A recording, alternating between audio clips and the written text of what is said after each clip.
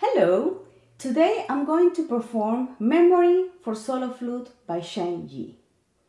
Chen Yi is a prolific Chinese American composer who blends Chinese and Western traditions and she goes beyond cultural and musical boundaries. Memory for Solo Flute, in collaboration with flutist Mari Holzhausen, composer Chen Yi has created a solo flute version of this plaintive memorial work.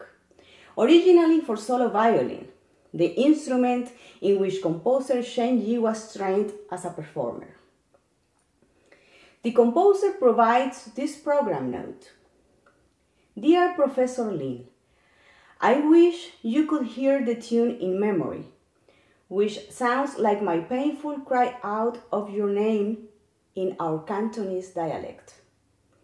I expressed my deep sorrow in the music to remember your fatherly mentorship.